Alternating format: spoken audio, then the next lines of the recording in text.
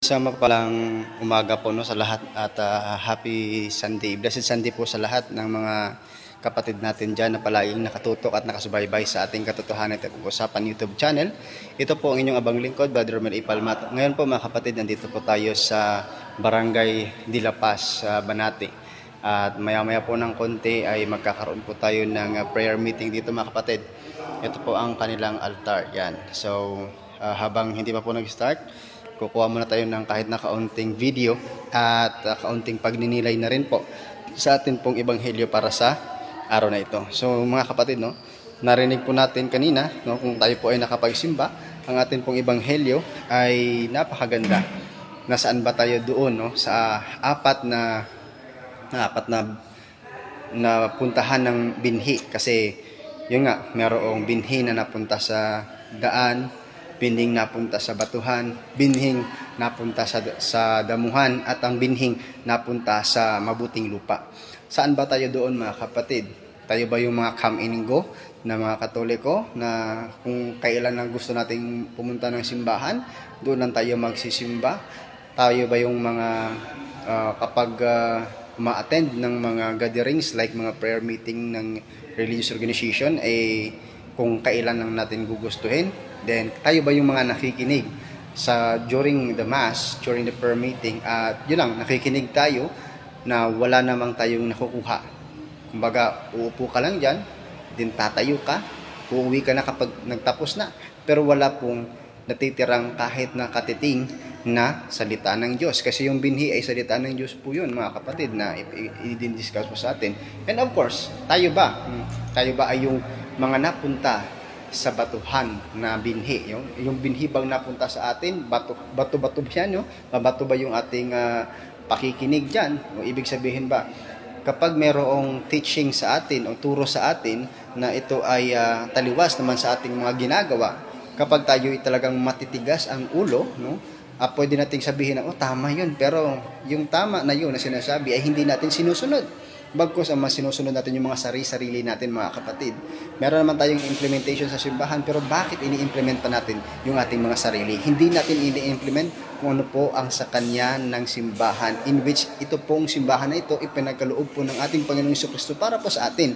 Pero dahil sa katigasan ng ating mga ulo ay hindi po tayo nakikinig sa turo ng simbahan. Pangatlo, tayo ba yung mga binhing na punta sa damuhan?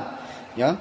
Yung mga alalahanin sa mundong ito marami po na nagiging hindrances para po tayo ay maglingkod sa ating Panginoon. Kung tayo ba ay uh, nakaschedule na kasi Sunday obligation to yan. And then, meron tayong obligation din, uh, aside from the Sunday obligation po natin, meron tayong mga obligation sa mga uh, sarili-sarili nating religious organization. Tayo ba ay very obliged? O tayo ba ay talagang kahit ano man na mangyari, gagawin natin ito uh, in the glory of God, no? for Deo et Ecclesia, for God in His church, Ginagawa ba natin ng ganyan? O baka kapag dumating po sa atin yung mga kapighatian ay nakakalimutan na natin na dapat pala ay manatili tayo na paglilingkuran ang ating Panginoon. So, yun po na mga kapatid, tatlo pa lang yan. So, kung dumaan man sa atin yung uh, pag-challenge sa atin, either work or God, ibig, ibig sabihin, araw ng linggo, merong trabaho, pero araw ng linggo din, magsasamba tayo. At sa araw din na, ng linggo, pupunta tayo sa ating mga services, sa ating mga religious organization, pero ano yung ginagawa natin? We prior yung mga makamundong mga bagay kaysa sa bagay na kailangan talaga ng ating kaluluwa. In which yun mga kapatid yung realidad eh. Hindi naman po natin madadala ang kahit na anuman dito sa lupa kapag tayo ay namatay. Kaya nga we are serving, continue to serve the Lord para po sa ating kaligtasan. Ngunit, merong mga balakid kasi yung mga balakid na yan, somehow in some time, ito yung nagiging dahilan para hindi po tayo magpatuloy, para po tayo ay maitigil po natin yung ating mga ginagawa. Sana nga po, nandito tayo sa ikaapat na binding napunta sa matabang lupa, na kung saan mga kapatid, yung matabang lupa na ito ay nagbibigay pag-asa po sa atin. Ang matabang lupang ito ay nagbibigay pag-uunawa sa atin. Ang matabang lupang ito ay nagbibigay ng pag-ibig sa atin. Pag-uunawa, pag-ibig, pag-asa ang binibigay nito. Sapagkat kahit na anuman ang mangyari, nakikita niya ako po ay talagang umaasa sa Diyos kahit na mahirap ang buhay, magpapatuloy ako dahil itong lupang itong nasa sa akin, itong pusong ito, matabang lupa ito na handang tanggapin ang salita ng Diyos ay tinatanim sa akin at patutubuin upang ito ay mamunga. Are we that seed na itinanim po sa matabang lupa upang mamunga? Makikita naman po yan mga kapatid sa ating mga pamumuhay. Para mamalaman po natin na tayo ay namumunga, dapat we still connected sa vine o sa puno. Which is our Lord Jesus Christ. Sinasabihan po tayo na kailangan maging manatili po tayo sa Kanya. Kaya kapag gusto nating mamunga, gusto nating sumunod doon sa sinasabi ng Panginoong Kristo na ang binhi ay napunta sa matabang lupa, kailangan po mga kapatid, kailangan talaga na tayo ay manatili sa Kanya upang malalaman natin na ang pag-ibig, ang pag-asa ay nasa sa ating Diyos. Yun po, kahit ano man ang mangyari, kahit mahirap, no? na yung panahon, eh, maulan-ulan, makulimlim, But then, pwede naman at capable naman tayo to go to church. Why not to go to church? Gagawin natin alibay somehow, yung mga bagay na maliliit lang. Pero para sa atin, it is reasonable. Even though alam natin sa ating sarili, hindi yon reasonable na i-excuse natin ating sarili para sa pagsimba sa araw ng linggo. And also in our service, we have uh, our um, individual uh, religious organization na pinag, pinapasukan po mga kapatid.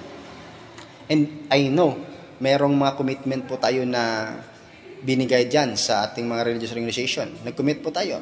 Therefore, kailangan po mga kapatid manatili tayo sa commitment na yan. No? Manatili po tayo na connected sa commitment na ating sinasabi o sinabi pa. So yun po mga kapatid, nawa ay maging matabang lupa ang ating puso, ang ating ang ating uh, isipan upang ang anumang marinig natin na salita ng Diyos ay atin itong matanggap.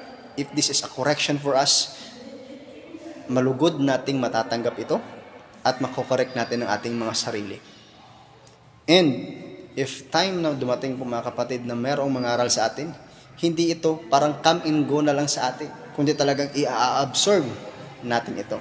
At kahit subukin man tayo ng mga kapaghatian ng lahat ng mga mahirap na dumadating o dinadanas natin sa buhay, mananatili pa rin tayo at gagawin pa rin natin ang kalooban ng Diyos. Sa Diyos po ang lahat ng papuri at kanakilaan magpakailanman. At sana po mga kapatid, kung kayo po ay bago pa lamang po sa YouTube channel na ito, huwag niyo pong kakalimutan to please, please and please, kayo po ay mag-subscribe. Katotohanan ay ating pag-usapan YouTube channel and also meron tayong Facebook page, Captox Facebook page. And also mga kapatid, na huwag niyo rin kakalimutan yung ating mga kasamahan to subscribe din po ng kanilang mga YouTube channel like uh, Pesma Plus. And of course, yung ating pong uh, collaboration sa Punto por Punto, yung kay Brother Wendell Talibong, Mr. Curious Catholic, Mr. 71 Catholic, at kay uh, God's Healing Mission ni Brother Angel, kaabag sa simbahan ni Brother Junri, uh, Brother Tata Rosal, at lahat ng mga kasamahan po natin. Nandyan po sa aking YouTube channel, yung channel recommended ko po dyan, especially yung aming pong mentor, Brother Dwayne Cartojano. Yan, yung Dwayne Cartojano, yan po yung aming mentor. Sana po mat matangkilik nyo rin po at inyo rin pong masilayan ang kanya pong mga turo at aral yan. Napakaganda, marami po tayong matututunan. At sa Diyos po ang lahat ng kadakilaan. Amen.